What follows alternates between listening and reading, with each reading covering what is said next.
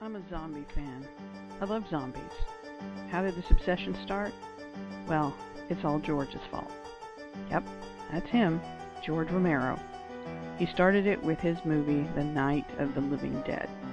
Then came Dawn of the Dead, and it was followed by, yep, you guessed it, Day of the Dead. George's zombie films inspired the comic book series Walking Dead, which is now a cable series and is watched by millions. Zombies are everywhere.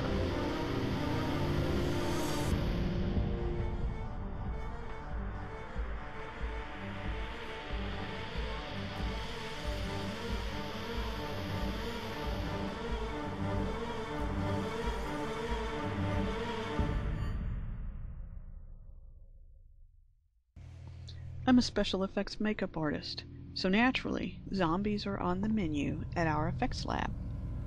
Most recently, we did some zombie effects for a short film called Spoiled Rotten. We did some various zombie makeups, and we created some heads that were replicas of the zombie characters so that they could be blasted away with shotguns. We did the zombie victims that were consumed by the zombies, and we did a zombie child and some gunshot wounds. It was a pretty cool film. It's a short, but it was a pretty cool film.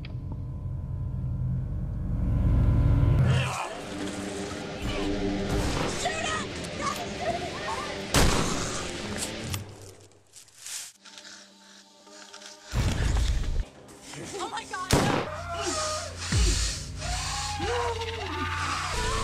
I've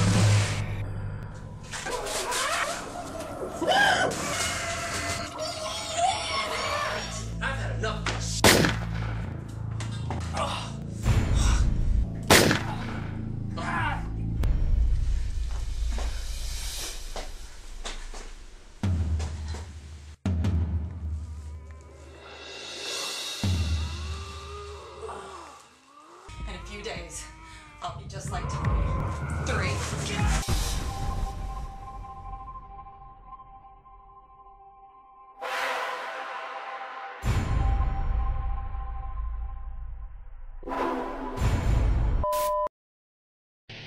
In the summer of 2011, we created our own signature line of zombie character foam latex appliances, which we called Rotten Zombies. We did this for people like us who love zombies and, you know, wouldn't have any other way to have professional prosthetics. We did this for the zombie walkers, for actors in haunted houses, and independent filmmakers like ourselves with low budgets. Uh, we did a how to DVD, and in that DVD, we simplified Hollywood techniques and created an application process that anybody can follow, just like the pros. When I was a kid, I would have gone insane for something like this.